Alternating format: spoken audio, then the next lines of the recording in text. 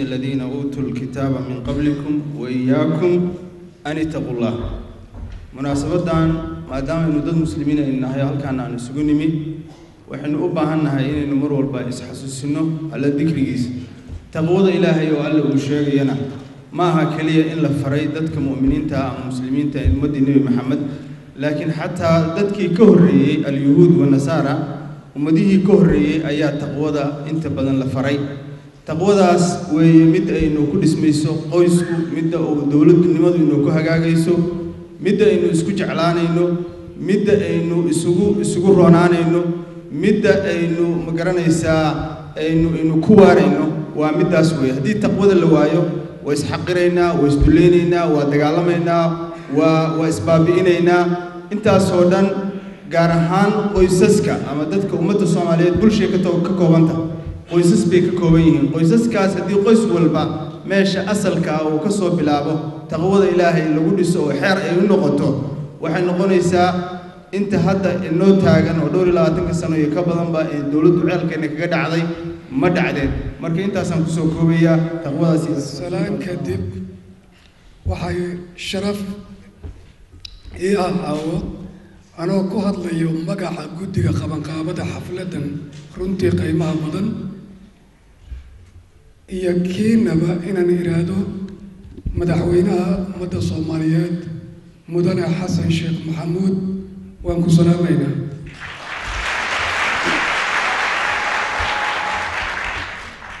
Salaan kadib waxaan leenahay mudane madaxweyne soo dhowow halkan waxaa fadhiyaan waa jaaliyadii south africa qaybaheedii kala duwanaa oo runtii diyaar u ah caawa inay dhegaystaan madaxda qaranka fariinta ay u wadaan lana qaybsadaan. Wixii yacni mataqaanaa dalkii information ay uga wadaan lala qaybsadaan? Ayay caawa halkan u fadhiyaan.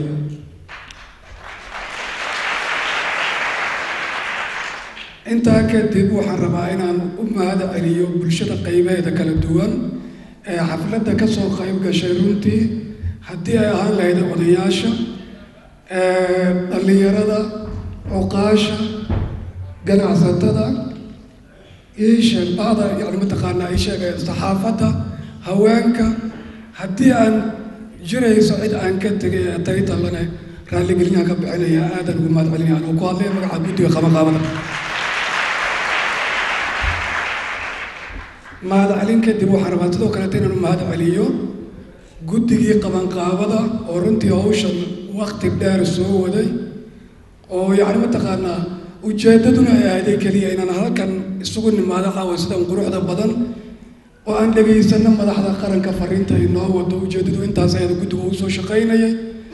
Runtii howl adag ayay soo qabteen. Anoo guddigaa weli afkooda ku hadlaya waxaan rabaa inaan u mahad celiyo guddiyadii runtii nala shaqeeyey sida aadka ay noola shaqeeyey ee gobollada dalka meelo ka mida ka yimid haddii ay ahaan lahayd waqti haddii ay ahaan lahayd dhaqaale haddii ay ahaan lahayd abaabul intaba nagala shaqeyna aadan u mahad celinaya iyagale runtii guddi aada u fara badan oo yacni mataqaanaa hawshaa isku xilqaamay oo in muddaa soo wadayba waxay soo gaarsiiyeen hawshii gebagabeeyeen caawa halkaan aan fadhino. Waxaan si gaaray rabaa inaan ugu mahad celiyo runtii abaabulkeeda iyo hawshaan kicinteeda isku dabaridkeeda si gaar ah walaalkeen muuse ganja oo runtii waqti badan ku bixiyey sanadkiisa sidoo kaleeto waxaan rabaa inuu mahad celiyo hortiin aan ugu mahad celiyo abaabulihii iyo isku dabaridkii asaguna hawshan in badan kusoo qaatay in shacabkan la isku keeno waqti badan ku bixiyey walaalkeen ninka la yidhaahdo ishan maxamed cabdideeriya aan iraada asagana sidoo kaleeta yaanan ka tegay sultaan qooqaani oo fadhiya sidoo kaleeta waxaan rabaa inaan u mahad celiyo mar labaad iyo mar saddexaad guddigii qabanqaabada aada iyo aada u dadaalay waqtiga bixiyey guddigaasoon anigu aan ka mid ahay haddii aan dhaylahay ugu horeeyo qooqaaniya igu qabsanayo fadhiyo on ogolayn waxaan rabaa inaan soo gabagabeeyo ku dheeraaday waktigaan la igu haystaa. Waxaan rabaa inaan hal kelmad ku soo gabagabeeyo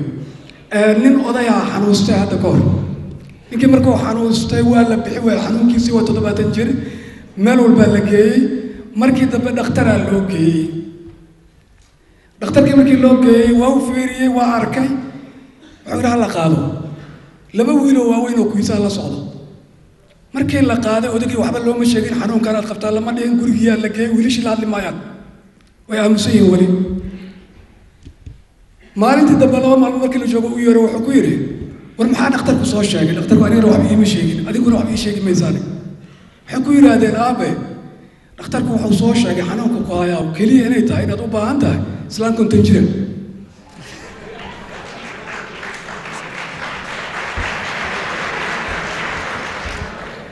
intan aamusnaynay saddexda maalmood iyo afarta maalmood waan soo islaan konton jira oo magaalada joogto madax bannaan.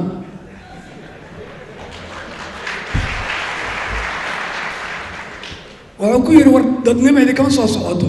Haddaad adigu wiilashaydii baad tihiin ood saasna aad u hadlaysaan. Maxaa dhacaa la yidhi? Laba labaatan iyo shan jir haddii laysku daro soo konton maano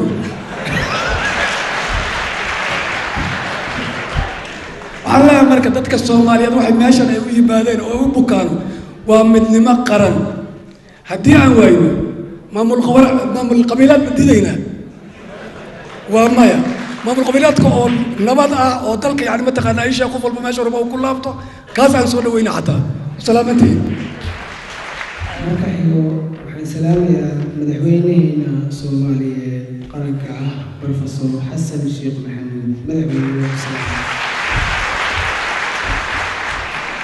أنا أقول لك أن أنا أقول لك أن أنا أقول لك أن أنا أقول لك أن أنا أقول لك أن أنا أقول لك أن أنا أقول لك أن أنا أقول لك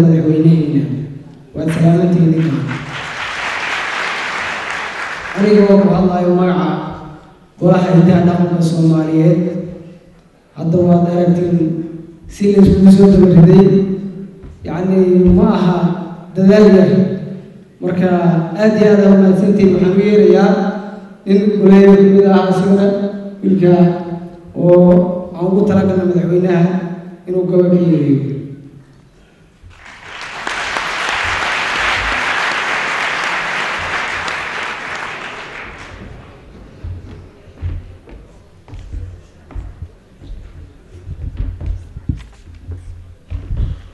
السلام عليكم ورحمة الله وبركاته بعد السلام أختي أنا ملينا إنه يريهاي مقع الصوماليات بايقا مدن مهد سلامات مقع محمد يوسف محمود برالة marka hore magaca soomaaliyeed baa iga mudan mahad salaameede marka xigana madaxweynaheenna iga mudan mahad salaameede marka xigana mas'uuliyiinta joogto oo dhan baa iga mudan mahad salaameede marka xigana inta meesha joogto oo dhan baa iga mudan mahad salaameede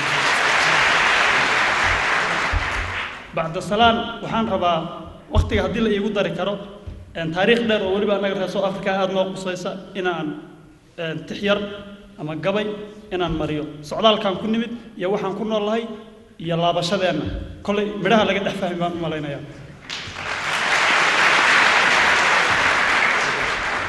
annagoo bahdeen baayirgee la maallo beeraha la falanno badhaha soomaaliya barwaaqada ku taal baashannada ka guranno balaba naga dheer tahay ayaan baabuur baxaaya balow ku soo nidhi. Waxaan soo biglaynoon baryo soo barmuudaynoon buuraha iyo boodharrada aan soo banjiidhaynaba baddii ayaa la yimid. Biyaan soo mukhuuranoo bilo iyo boqol habeen yaan doon ku soo dhex barinoo baaqigii bahalkiiyo yaxaaskiiyo badda ka soo hadhay berrigaa la keenoo budhcad baangada sida taa badh ku laysay meeshaas mosambiik tanzaniya badh baa xabsiyada buuxdhaafiyoo budhkuna u dheeryahay badar ay helaan biyo iga daayeen. Badh baa maraykan biyo u sii dhaansadoo badh baa yurub sii beegsadoo balse baashaan anigu soo maray. Meel baas ay badhaha south africa iyo britoria lahaayeen yaan annagoo boqolaala balaq ku soo nidhi. Badar ayaa la cunay biyo ayaa la cabbay beeqaaq ayaan u soo baxay. Waxaa baxaysa shalaa la boobay xabad baa ku taal beertuu galay baryo kadib anaaba shaqo la iigu baaqay. Baaki gaadhi ayaan baasha kaga booday. Meelay boqol ku dhimatay ayaa barqa la igeeyey anoon bil joogin lugtay baf ku tidhi. Waa balaayo adduun oo bahda south africa ku idil oo barbaari kuma hadhin. Ee allahayow bartii aynu lahayn baryo nabad ka yeel baaqigu ha aadee boqolaal badaha aaday baan baaqi soo hadhine bahalkiiyo waraabaha ku cuna bahollo reeroode balyan baa agoontooday oon biilla loo heline bale laga xijaabiyo hablihii way baroortamiye. Beerkiya wadnahayay buko biyaan dhexaalaaye baadkana ma cuno oo hurdada waan ka bogan waayey buuggii jacaylkana ma furin baal qudheetanaye oo bayhoofka ay bahday qabtaan guur u baalmaree baqra baraqbi rabbinaas wiil unbaa buubinoon halla baalmarine baarqabgee lagu dariyo wiil unbaa bilo dhaqaalayne wiil unbaa barbaartii tolkii baryo la sheekayne wiil unbaa hablaha tii bildhaan quruxsan baafiyo balagu noo saaray aniguna badhaha sawd ayaan baylaha ku ahaye bowdyada xabadi way iga gashoon bilo la jiifaaya ha yeeshee barbaar baa ila qabtoo baasku uu maray gabaygan magaciisa waxaa la dhahaa dib uma soo laabto dowladdana wax badanaa ka xiseeya indhaway badeellay ma tirin dowrkii maansada ee waa kaan dansaday een daayay gabaygii ha yeeshee damiirka ay kaco waan dul marayaa ee dalka sawd dulliga uu qabana dib uma soo laabto. Indhawayd badeellay ma tirin dowrkii maansada ee waa kaan dansaday een daayay gabaygii ha yeeshee damiirka ay kaco waan dul marayaaye dalkan sawd dulliga uu qabana dib uma soo laabto da'yartiiyo barbaartay haddaan dawyar idin siiyo ama aan idin dareensiiyo oon diirka ka caddeeyo dowladdiiyo dadaalkay waddaan dowr ku leenahay dalkii wuu iftiimo wakaas nabad baa degtay damaashaadka reeruhuna way wada duceeyaane. Dumarkiiyo duqowdiyo daa'imada yaa durbaan tumane guryihiiyo dhulkii dowray ee dab la qabadsiiyey raxmad eebba keenaa da'doo waa la degayaaye innaguna dulligan sawd waa inaan dayno oon degalki aadnaaye nin dukaama haystiya ninkii dalaga beeraya ninkii daara taagtiya ninkii dalxiis dooma wadanaya ninkii duunyo haystiya ninkay dabac u foofaysa nin duruusta raacdiyo ninkii diinta dhiganaya ninkii daabad guursadiyo ninkii dadab galayaaba nin waliba siduu doonayo doorto wuu helaya innaguna dulligan sawd waa inaan dayno oon dagalkii aadnaay waxaan doonayaa halkan inaan idin baro kooxda hidaha dhaqanka soomaaliyeed. Golaha yacni qof walba markaan u yeero waxaan doonayaa halkan inuu halkan soo istaago madaxweynihiisa uu arko. Fadlan idinku rabeeyay waxaan u yeerayaa gabadha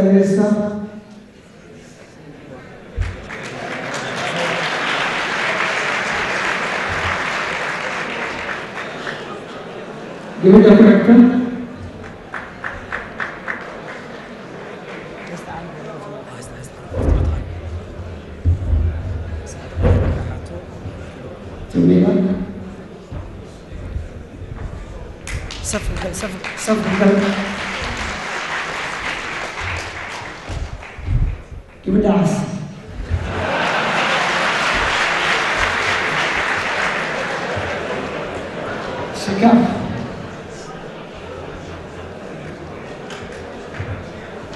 Luiz.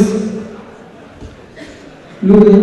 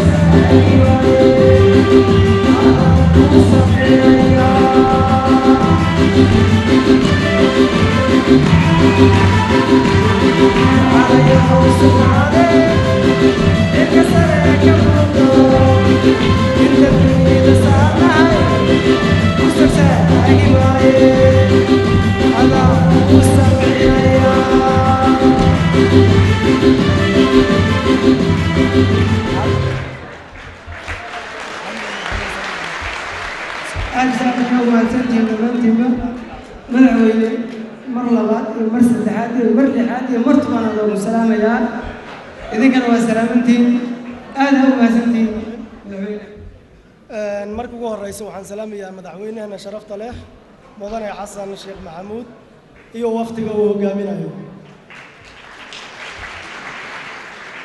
marka xigta waxaan salaamayaa jaaliyadeenna south africa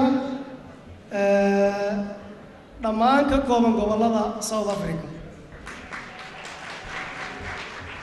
Aniga magacayga waxaa la yidhahdaa nuur yuusuf cali magac dheer nuur gureey maadaama maadaama aan maxabada maxabada jacaylka ee qarankeena soomaaliyeed uga badbatay waxaan rabaa inaan sheego saddex mabda oo gabay oo saddexdaba uu ka dhex muuqan doono madaxweyneheena sharafta leh mudane xasan sheekh maxamuud. Waxaan kaloon idin ogeysiinayaa soomaalida sida badan gabayada waa kala nuucyo. Aniga waxaan qaadayaa gabayadii hore ee abwaanidii hore soomaaliya ay tirin jireen anigoo soo koobiyeystay. Madaxweynehayga sharaftale waan ku salaamayaa waxaan aad ugu faraxsanahay maanta inaan ku arko. Waxaan ogahay anoo waqti badan hurdo ka soo joodo markay siyaasadda aad u adkaato. Wallaahi ah.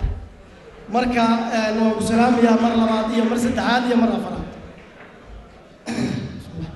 Hoyaala hoyaalayey hoyaalayey hoye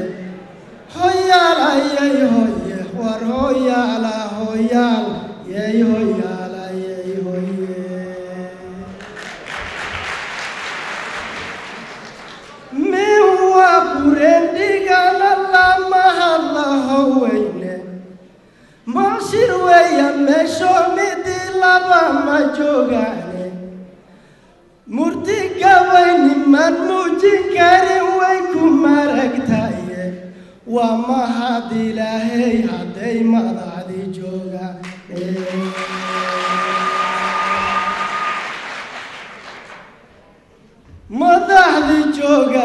waa mahad ilaahay hadday madaxdi joogaane madaxweyne ma ogtahay inaad maskaxdii tahay madaxaba hadduu maskax lahayn maalma muujiyaye maskaxdeenni soomaaliyeed adiga sowmaahid muddo dheer dadkii kala maqnay meel isugu keene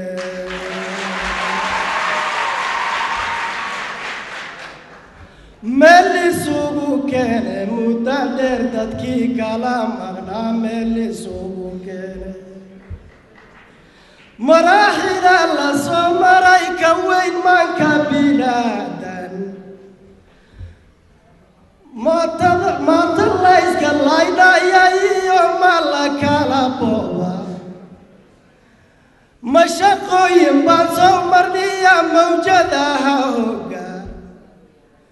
soo marniya mawjadaha hogga mada masha mashaqooyin baan soo marniya mawjadaha hogga magaceenni soomaaliyeed meel xunbow tagaye muddo dheer dadkii kala maqnaa meel isugu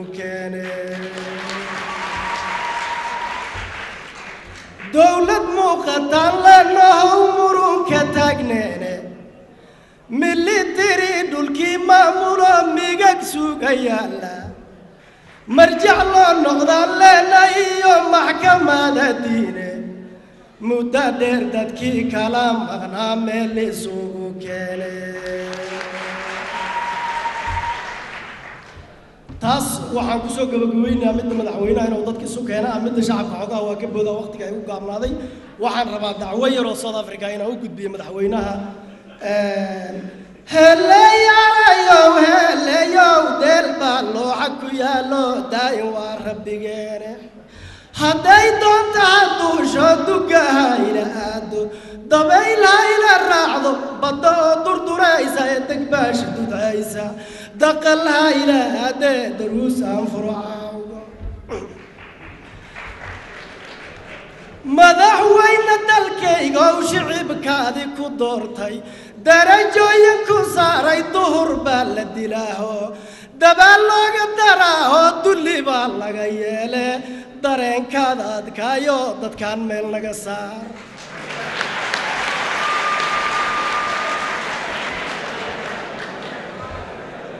dalka south africa dowladdii iyo dadkiisa dacwo baan ka ahayne dabankii dabankii la gumaystay dabankii la gumaystay xabsi looga dadaalay.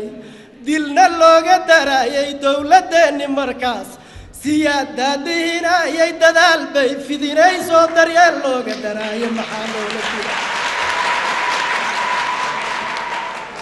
ee duqii qarankeennow duqii qarankeennow dowladdii magaceennow dareenkaada adkeeyo dadkaan meel naga saar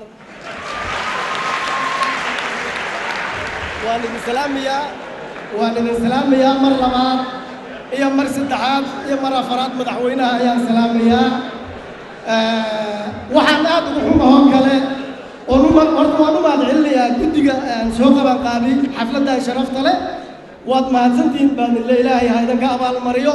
Haddii aad madaxweynahana tusteen asxaabtii soomaaliyeed oo isku duwan su'aalaan rabaa marka inaan soo joodiyo jawaabteedana u baahan su'aashaas oo ah soomaalida markay qurbaha joogto ama ay diris tahay ama fadhi ku-dirriyaha iskugu imaada sidaana isu jeceshahay isu baalgelaysaa markii mustaqbalka in laga hadlo la rabo ee soomaalinimo in laga hadlo la rabo dowlad la rabana qof walba waa isbuusa dhinaca u buura aniga reebalana uu leeyahay taas marka jawaabay u baahan tahay marka waan idin salaamaya ku dhammaan akhyaarta sharafta leh anigoo ku hadlaya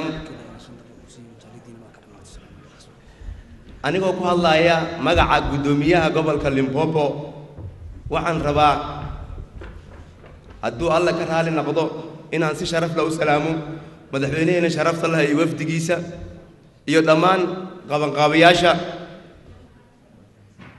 xafladdan quruxda badan een caawa iskugu nimid. Assalaamu calaykum waraxmatullaahi waan idin salaamay walaalayaal haddii aan si kooban aan si kooban uga hadlo gobolka limpopo oo aan ku dhaqannahay waxaa ka dhacay diliil aad u fool xun.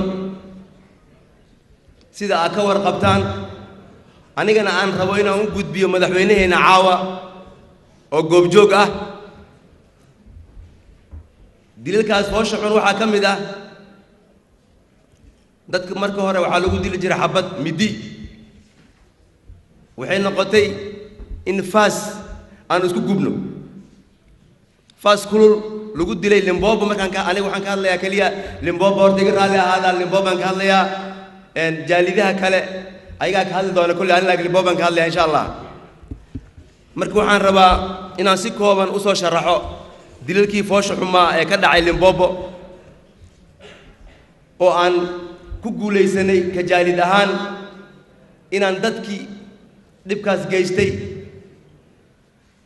aan soo qabanno oo aan maxkamad saarno waana ku guulaysanay oo maxkamadaa la saaray. Laakiin ilaa hadda waxay sugayaan xukunkii.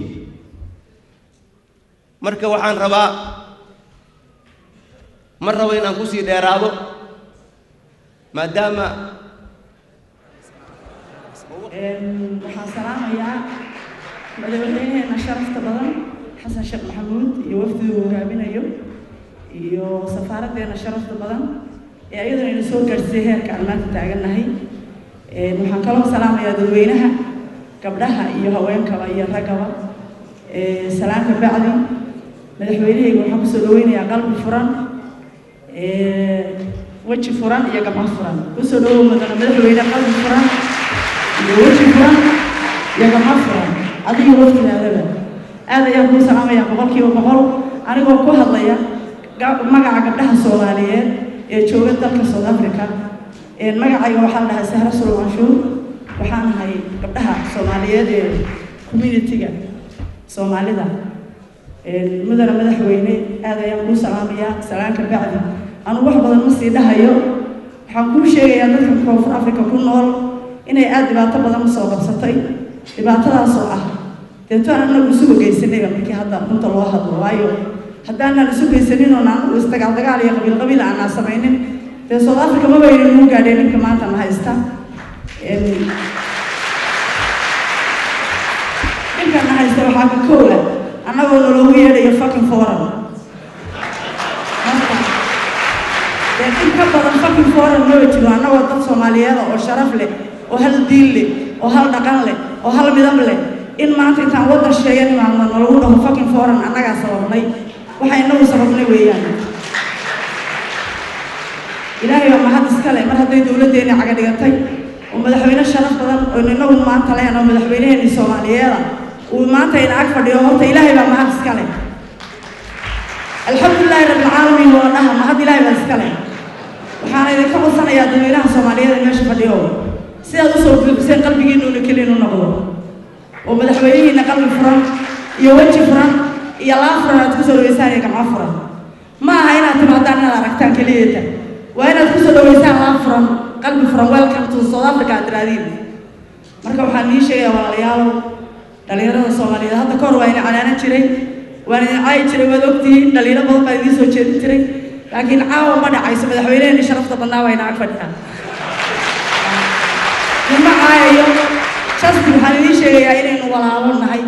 Shanta soomaaliyeed calankeenna inuu tilmaamayo. Shanta soomaaliyeed inay hal tahay. Ninkii ka been sheega ee shantaa soomaali ka been sheegana dee waa nin dhacay oo macnihii lazy ah oo dhacay. Madaxweyneheena sharafta badan.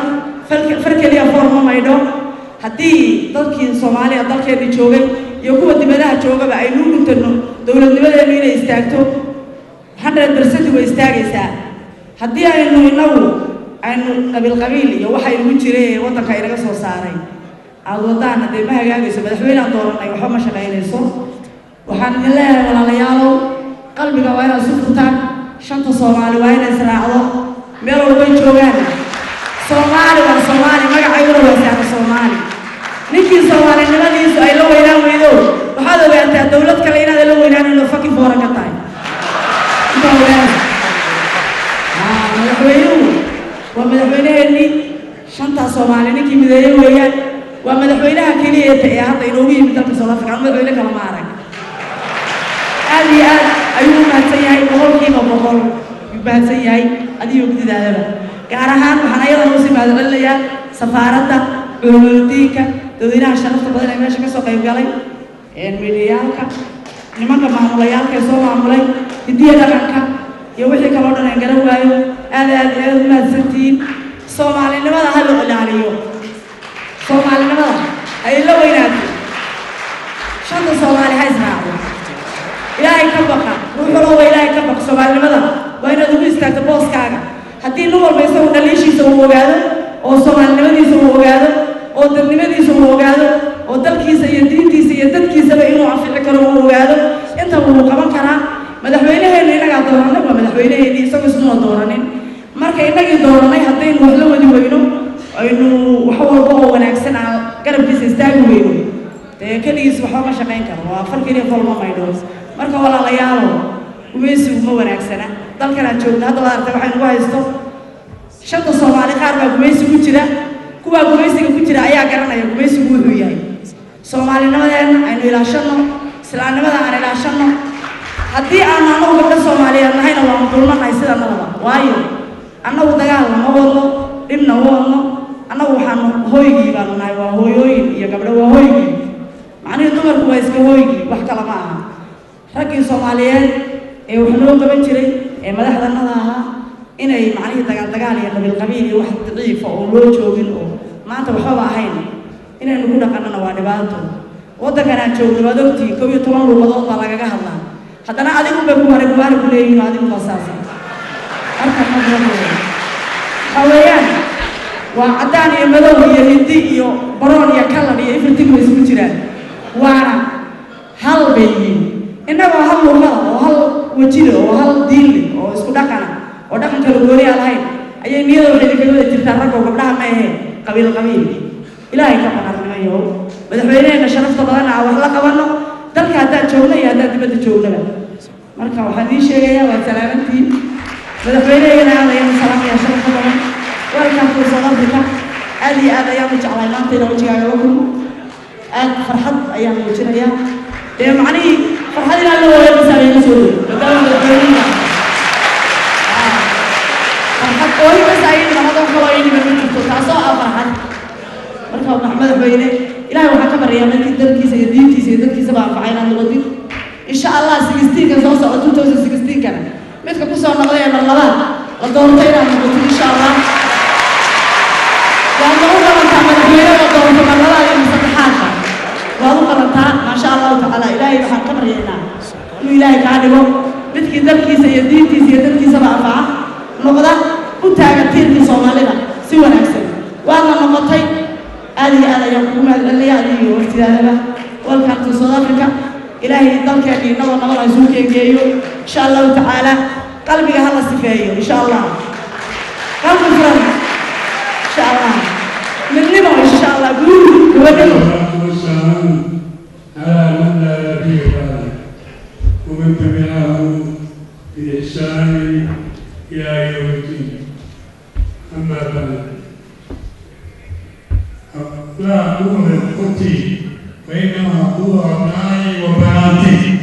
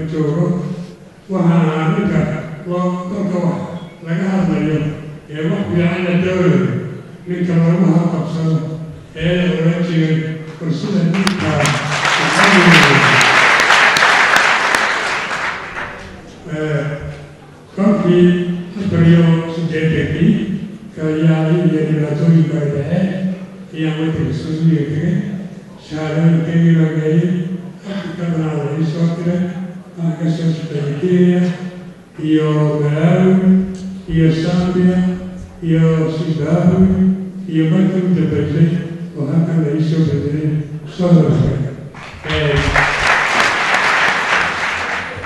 intaas waa xaggii shaqada intaa ka hadlo guddiga musaafada ee madaxweynuhu hogaaminayo waxaynu u rajaynaynaa iqaamo tayiba walaala risaala intaasaynu rajaynaynaa wixii muhiim ahaa ama laga hadlay wadanka dhibaatada ka jirta ama laga hadlay wadankeedii iyo xaaladiisa waa laga hadlay markaa inaan dhedheereeyo ma doonayo waxaan rajaynayaa ummadda soomaaliyeed inuu ilaahay iyadeeda soo jeediyo qalbigooda isu sugo isjeclaysiiyo sidii maaragtay wiilii aabigii ilaahay jeclaysiiyo ayaa rajaynaya inan waxaan rajaynayaa dadaalka uu madaxweynuhu hayay oo khudbadii hadda habeen hore uu akriyey oo aad iyo aad u qiimo badnayd inay ummadda soomaaliyeed dhegaheeda u murto oo ay ku maamusho sidaa madaxweynuhu uu kula taliyey inay yeelaan ayaa ummadda soomaaliyeedna aan ka rajaynayaa dadweynaha soomaaliyeed majaaliyadda soomaaliyeed ee sawirka qabriga degan ee mid keliya looda waxaa weeye adduunyada ilaahay la doono waxba isagaa gacanta haddii aynu markaa intay wadanka joogno uu qof ilaahay oy masaajida tagaan oy tukadaan oo ay cibaadaystaan ilaahay wuxuu wiil inagu ilaaliyo wuxuu yidhi nabigu ciddidillaha yaxfadka ilaahay ilaali uu ku ilaali ilaahay ilaashaynaga hore waxa weeye amarkiisa iyo nahyigiisa ilaali weeye waxaa la sheegayaa ummadda soomaaliyeed ee waddankati dhalinyaro u badan inaanay dhaliin badan dhalinyaro badan aanay masaajidaba tegin oo yidhaah oo yidhaahdaan dukaankaa laga hadlay dukaankaa laga jabsanaya dukaanka waxaan u leeyahay ilaahay ha ilaalin horta ilaahay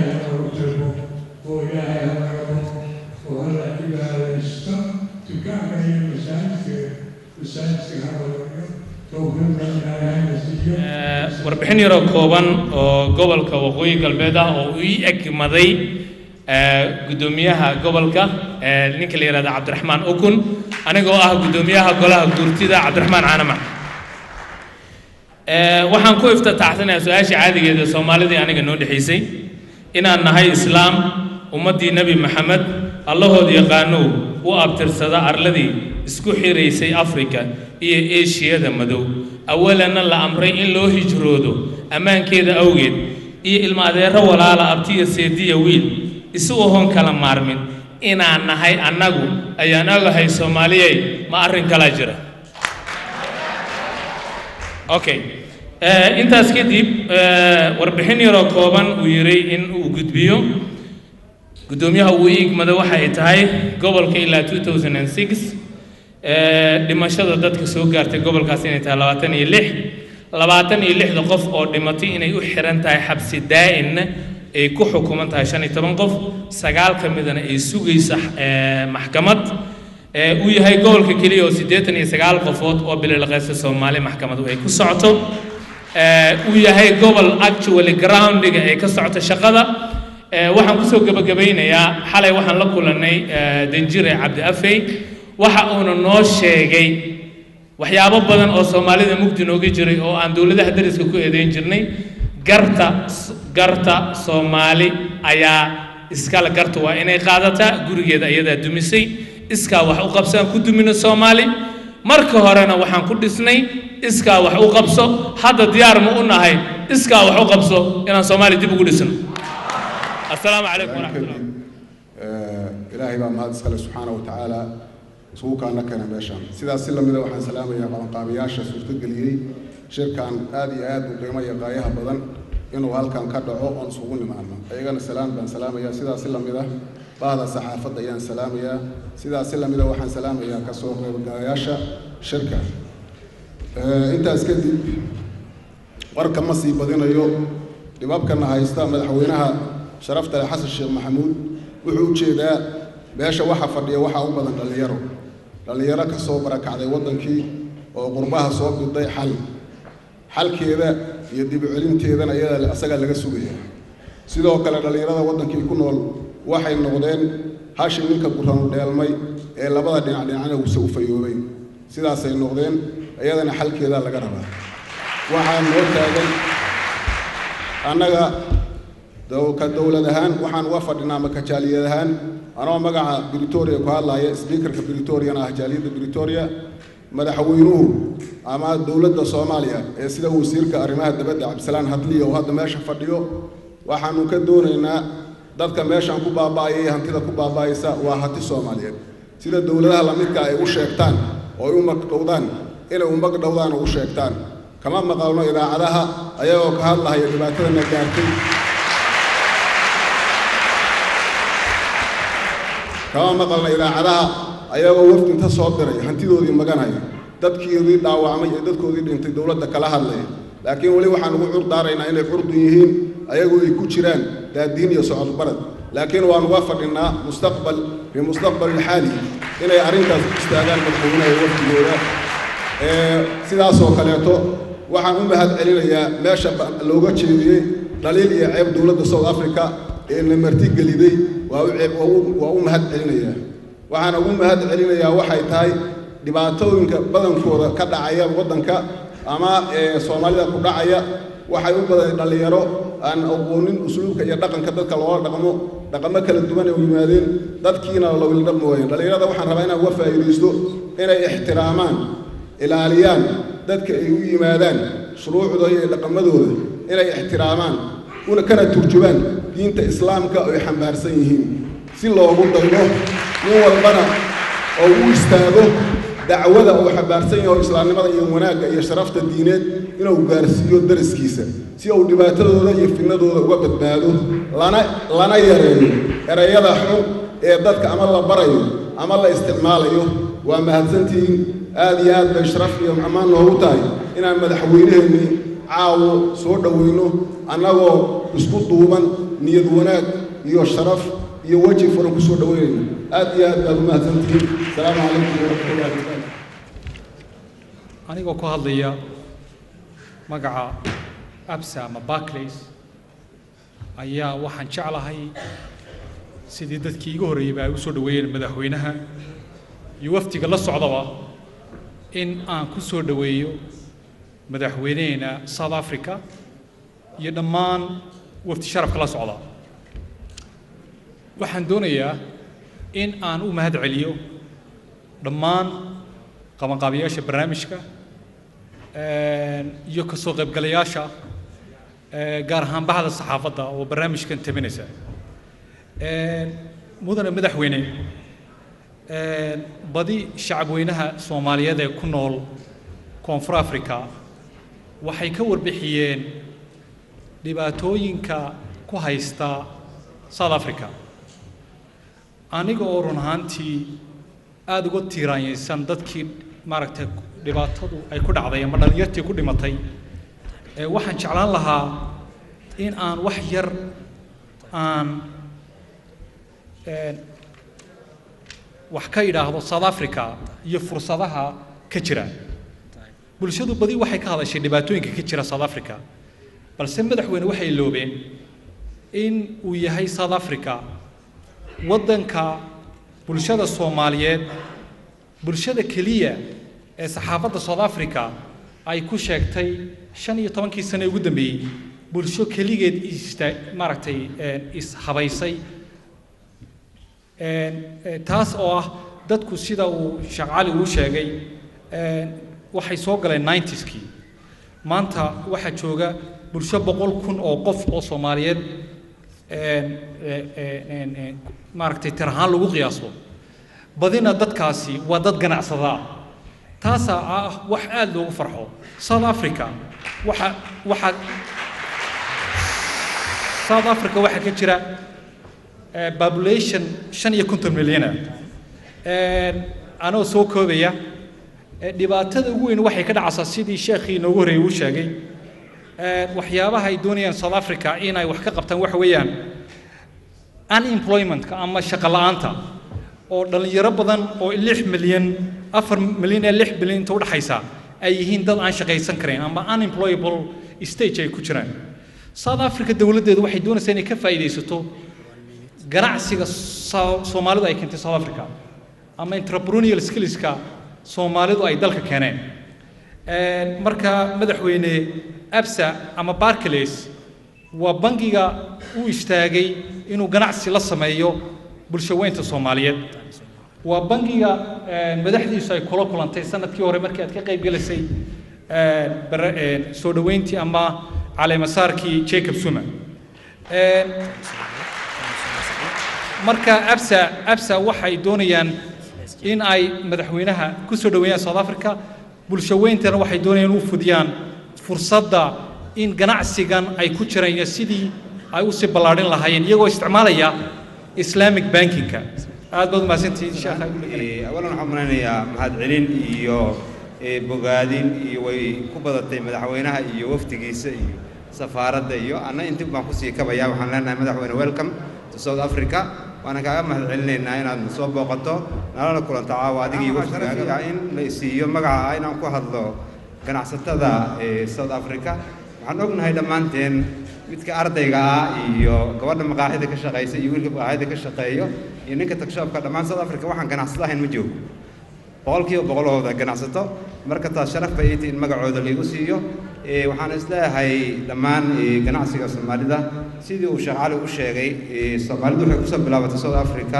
Inkastoo dad ka sii horreeyay ay jireen 1992 iyo wixii ka dambeeyey waxayna ku soo badatay xilliyadii u dhexaysay labadii kun iyo toddobadii ilaa labadii kun iyo sideedii labadii kun iyo sagaalkii waqtiyada aad u timid weeye oo si fiican u soo badatay ayadoo xilligaa ay ka soo badatay ganacsigeeduna wuxuu soo maray heerar kala duwan ama leebalo kala duwan.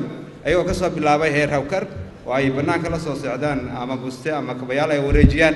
Alxamdulilah ayagoo maanta maraya marka uu ganacsigoodu marayo export and import inay waxna dhoofiyaan waxna soo dejiyaan ayna furtaan kaashaankeeriyo kala duwan kaashaankeeriyo kala duwan oo ama ha noqoto dhanka dharka ama ha noqoto waxyaabahan la yidhaahdo groceryga oo kala duwan ganacsigaas isaga wuxuu leeyahay caqabado fara badan oo hortaagan. Innagoo in badan oo ka mid aynu leenahay oon aqoon badan u jirin waa caqabado iska imaan kara. Laakiin waxaan leeyahay oon dhiirigelinayaa in la mideeyo ama la mideeyo maskaxda iyo dhaqaalaha si loogu guulaysto midda hadda fardiga oo la wado individualka qof walba uu ku fiican yahay ama personalka inuu ganacsigiisa ku hormariyo laakiin waxaa ka guul badan in cooperation la sameeyo si loo guulaysto. Waan idin mahad celinayaa waxaa dadka aad u sugayaan khudbadda madaxweynaha oo waxaa badatay dadka kale aad u batay. Waxaan leeyahay marka waxaan isaagii dhexbaxayaa kulle inaan u dambeeyaan wasalaatu wasalaamu calaa man laa nabiya bacdah wacalaa aalihi wasaxbihi waman tabicahu biixsaanin ilaa yowm ddiin amaa bacd. Ilaahay baa mahad iska leh suu kaaya keena halkan innagoon cidna dulminayn waxaa kaloo mahad iska leh wafdiga sharafta badan ee uu hogaaminayo madaxweynaha ummadda soomaaliyeed doctor xasan sheekh iyo wafdigiisa. Waxaa kaloo mahadiska leh shacabka faraha badan ee runtii kuraasta meesha loogu talagalay intay deeqi weysay ay qaar ka mid a tagtaagan yihiin. Oo runtii micnaheedu ay tahay in ay soo dhoweeyaan madaxweynahooda. Waxaa kaloo mahadiska leh dhib male hadday gacmuhu waxoogaa daaleen waa iska sugi kartaan. Maxay ahayde waxaa kaloo u mahad celinayaa guddiga qabanqaabada oo aan runtii muddo muddadii ay hawshan ku jireen aan habeenna seexan iyo maalin midna. Runtii guddigaasi aad baan ugu mahad celinaya intaa kadib madaxweyne dadka halkan fadhiyo waa shacabkii south africa waxaad maqli jirtay south africa waxaa ka jira xabad iyo dil iyo dhac baa ka jira. Dadkan way survive garoobeen dadku waa labo ninna survival buu ku jiraa ninna wax kororsi buu ku jira. Dadkan waa survival.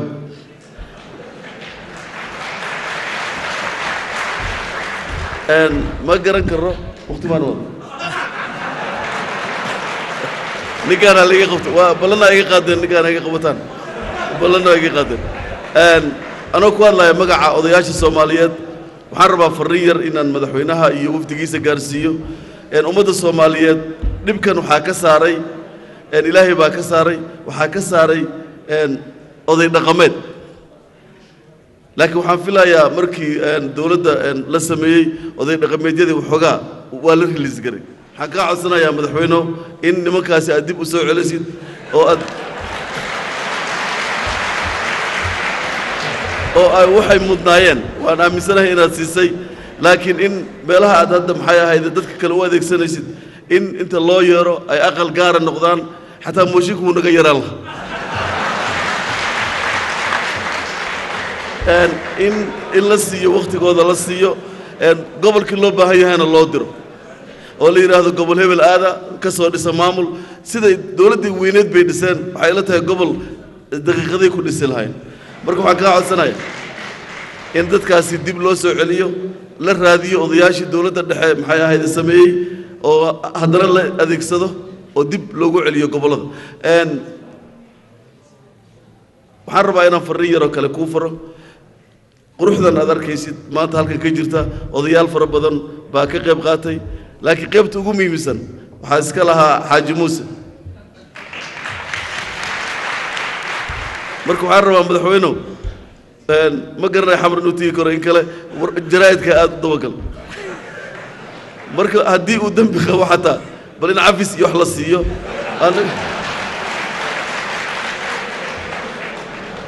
waa nin oday noo ah runtiina een, muddaduu noo nala joogay runtii jaaliyaddu ay qayb weyn maaragtay uu maaragtay ka qaatay. Marka ma rabno in mar waliba uu jaraa'idka ku qornaado maxay ahayd baxda saxaafadda naftooda in ay iyagu naftooda cafisna weydiistaan waan jeclaan lahayn waayo mar walba way sheegaan. Intaa kadib.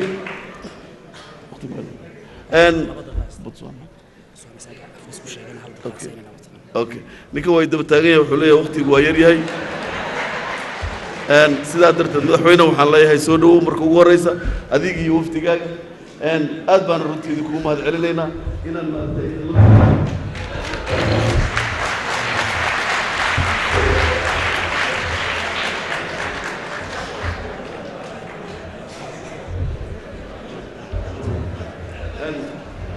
waan idin salaamay madaxweynaha yaa gacan iyo wax la soo qaadin insha allah aniga idinkaga filan insha allah asalaamu calaykum waraxmat ullah haysaay innaga isu keennay qof kastoo halkaas soo istaagana waxuu qirayey dhibtana haysaa inaan isu keennay sababta ugu weyn iyo cilladda dhibta noogu timidnu waxay ahayd icraab can kitaab illaah ilaahay subxaana wa tacaala wuxuu qur'aankiisa ku leeyahay waman acrada can dikrii faina lahu maciishatan danka fi dunyaa weeyaan wanaxshuruhu yowma alqiyaamati acmaa maalinka qiyaamo isagoo indhalaa in la keena adduunkana cidhiidhi ku noolaado cidhiidhigii waa dareennay sirca adduunka inagu haystaa maanta ummad u haystaa way yarta anigu waxaan idinkaga imid botswana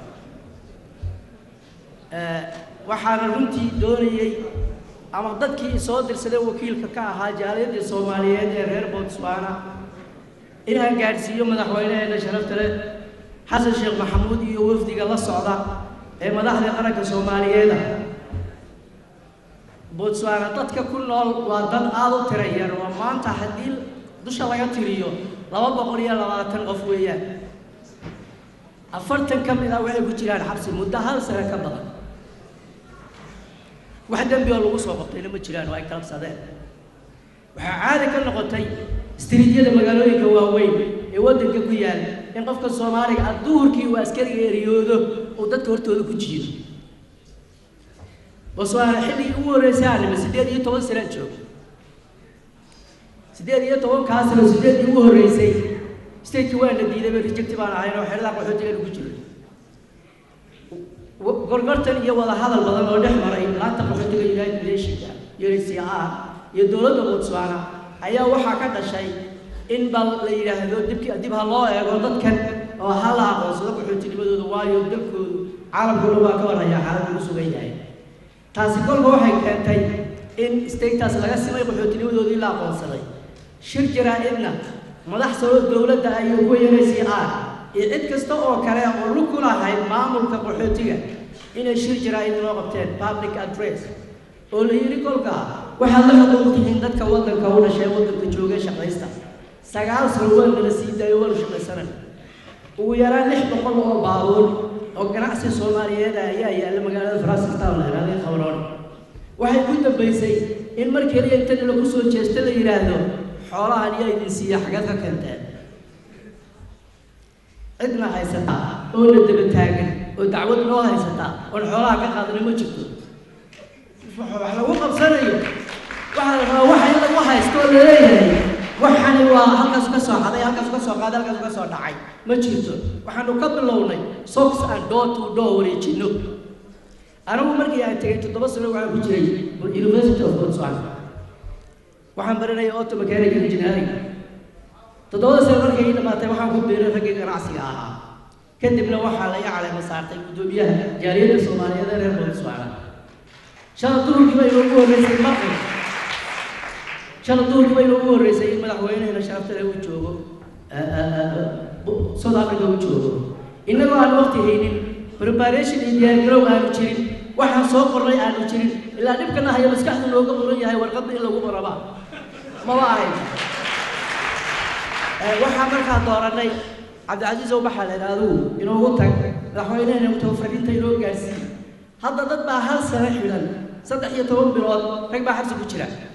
وحسن الله يكون حلي لما يقال كدب ولا سيدا يا وي كدب هذا روا ما عندنا بتقع والله صاحب تاع شمت الله يحنا له هذا روا وعادي ما ينقض قريها هذين كي مرك الله سبحانه أرور توري صلاة الصباح إنت الله كحل يا الله كم صوغ الله لك قبض الأهرات اللي وجه بيا قريها يا أبو الله كم واحد شن تقصد يا تومك سر الشمس من سيدا يا لين بنت قرط الله قبض حبس الوجود الدنيا لما قلنا سطح دولا عفر قلنا شبط دولا كذب حبس قبرك لقاس ودريو وحلوه ما نزل قولوا يا حتى هنيك dhibkaa weeye waxaa botswana laga haya mudane madaxweyne iyo wafdiga kula socda ee madaxda sare qaranka ee sharafta leh ee reer botswana waxaan u malay waa dal aad u yar weeyaan oo hal milyan toddoba boqol oo qof ay ku nooshahay oo aan aqooninba ummad badan oo soo dhex gasho qarqisa baan horay u arag waxay hadda la yaaban yihiin ummadaha inta yimid zero wax ka soo bilaabay muddadaa yar intaa la eg ayagoo gacan la siin xoola intaa la eg indhaha buuxiya dariiqyadii iyo haddii la goreeyo garaashadii saa u yaalla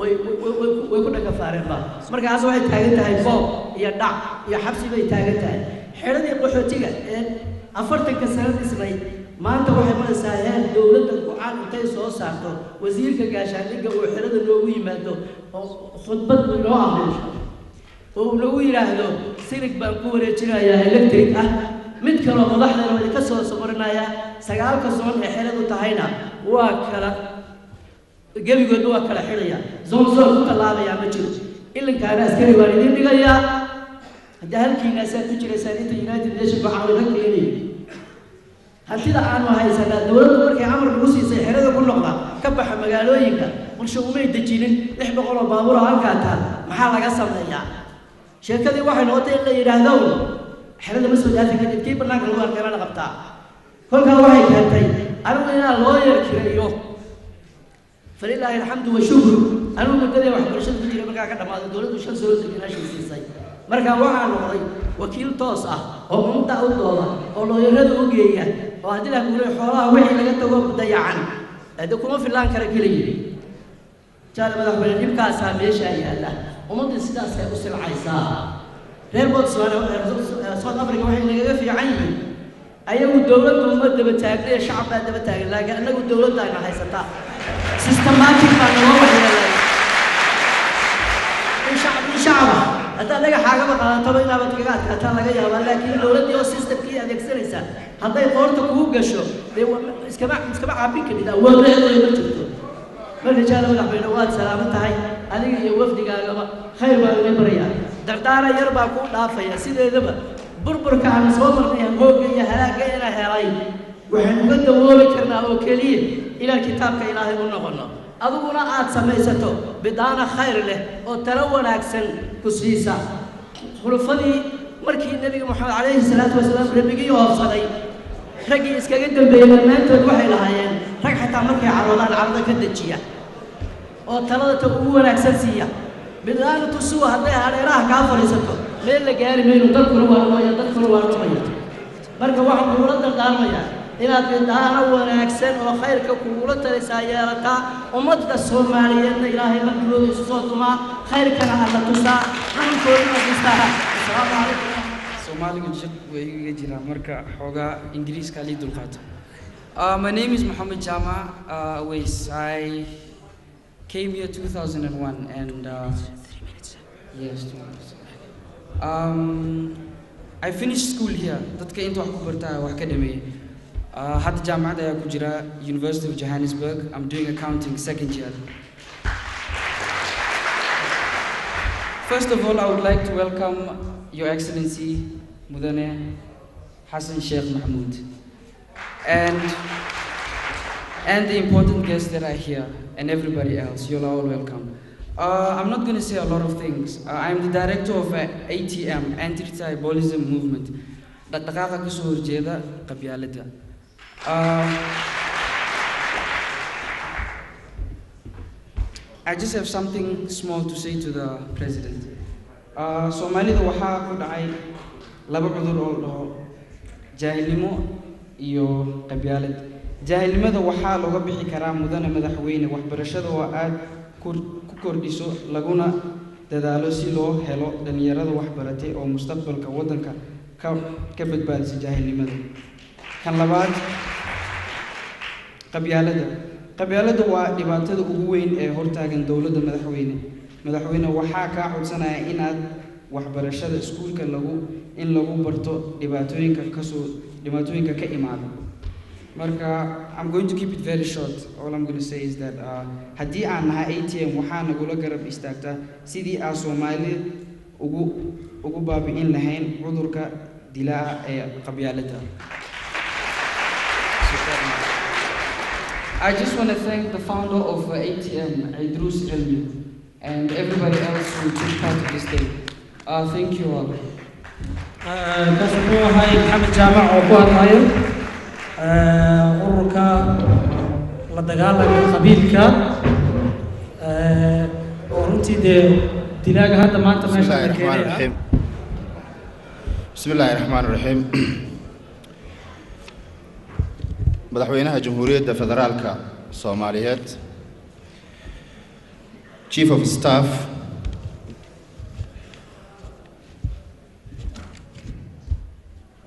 qunsulka safaaradda etoobiya mudane mudane madaxweyne magacayga waxaa la yidhahdaa axmed maxamuud cabdi. Axmed dheer ayaan ku magac dheerahay halkan waxaan ku taaganahay guddoomiye ku-xigeenka een,